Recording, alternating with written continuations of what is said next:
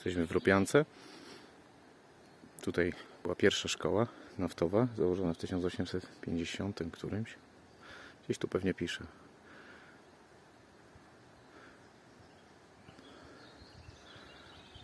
Kanadyjskie. No i takie upamiętnienie. Tam jest dom po lewej stronie. Nie będziemy tam szli z tego względu, że tam mieszkają ludzie. Więc nie będziemy przeszkadzać. Proszę, tu cały informacja. Dużo czytania, więc przytrzymam chwileczkę.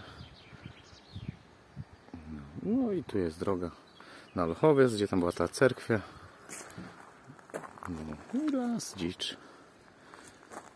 No tu jest wjazd do tego domku, tam pewnie była szkoła. Domek drewniany.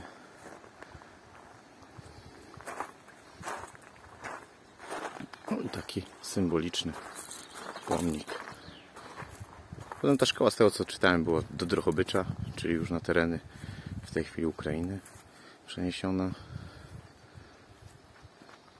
Hmm,